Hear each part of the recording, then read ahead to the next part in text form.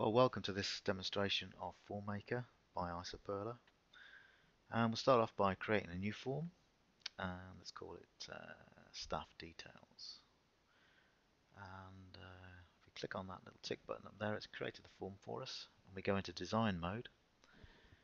And in here, we can uh, start building our form. So the first thing we'll do is we just change the page heading.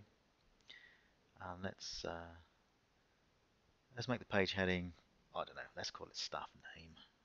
There'll be more to it than that, but let's just put that on there. And we'll also put something in the section heading. The section is where you actually add the controls onto, so the fields onto, and we'll say just say in there, let's uh, please enter the details.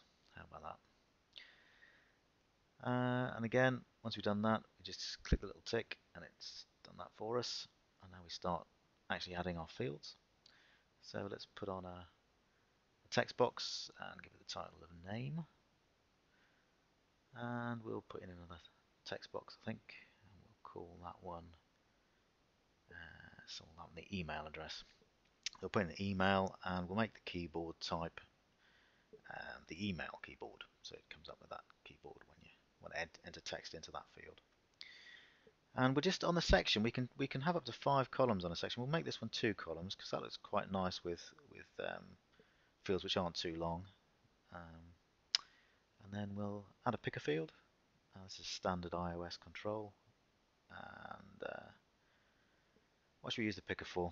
Let's use it, use it for entering the salary. So we give it a label. The label is important because that's how the data uh, shows up on your export of the um, of the details later. So the placeholder is where we put in this list of possible values, values and they're separated by comma. So we put in uh, not selected, low, medium and high there. Um, the label I'll hide because we can actually, it doesn't add an awful lot to the um, to the input side. Um, so we'll we'll change the values so they're a bit more obvious what they are because without a label we're not quite sure what low, medium and high refers to. So let's call it low salary medium salary, and how about high salary? and then the default value, I have to change to medium salary so it matches the uh, the middle list item. And we can have as many items as we like in a in a picker control, not just three. Um, in a segmented control, which is this control I'm putting on now, you're a bit more limited. Uh, it's a standard iOS control. But um, if you start adding too many possible values, then it starts looking very busy and it starts truncating the, the labels. Um, so it's great for three or four possible values, and here we'll use it for, what should we use it for? Um, let's ha have how often somebody is paid, so let's go weekly, monthly, and by invoice, and let's make the default uh, let's make the label, make sure we set that first to paid. Um, but we'll hide that. How, about, that look? That looks quite nice. Um, but let's shift it down below the picker control because it looks a bit nicer down there. We use, use the line break to do that. Let's make the default value monthly and have a look at that. Yeah, it looks alright, doesn't it? So let's put another picker control up there and we'll use this one to, uh, to capture the job title.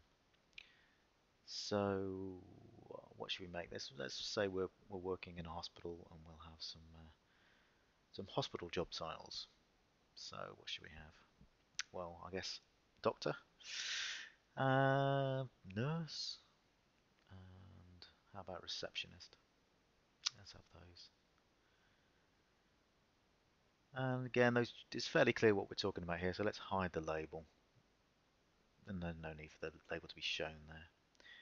Let's um, have another segmented control, and we'll use the clone function just to create a new copy of that control. And um, what should we use this one for? Uh, let me think now. Um, how about how often they're reviewed?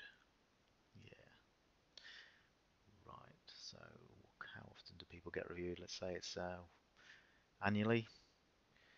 And the list of possible values would be, let's say, well, monthly, annually, and let's say some people may not get reviewed at all, so let's have not reviewed. Again, a nice comma separated list there.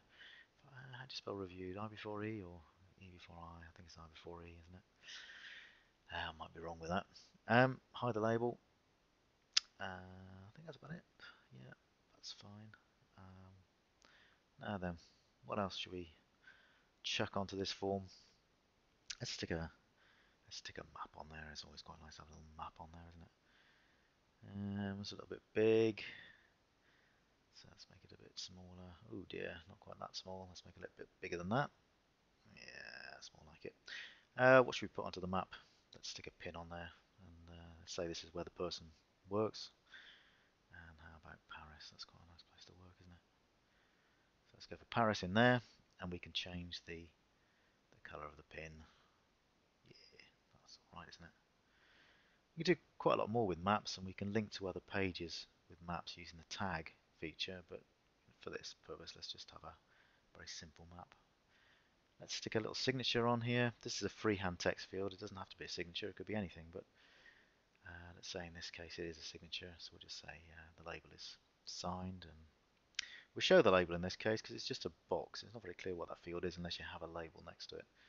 So let's say signed for that, and uh, what else can we chuck onto this form? Let's have a let's have a camera button so we can take a photograph of this uh, this staff member. Um, Okay, let's give it a label.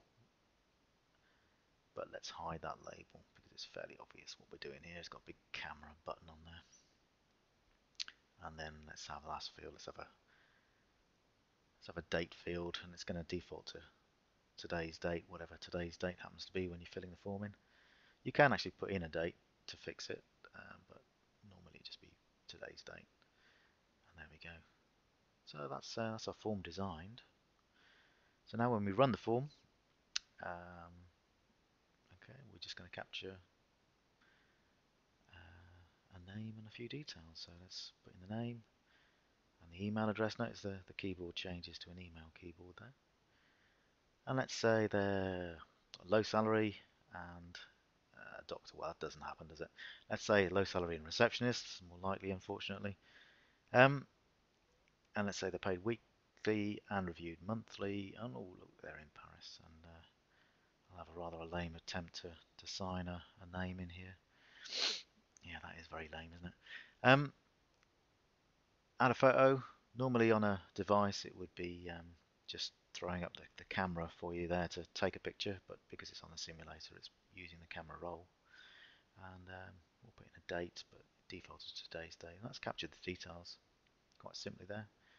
When we want, want to look at the details, we go to the results screen and and there we go. That's the, the details we entered earlier. Normally, of course, there'd be lots of details entered, not just one record. And uh, we can print that if we want to. And that's about it.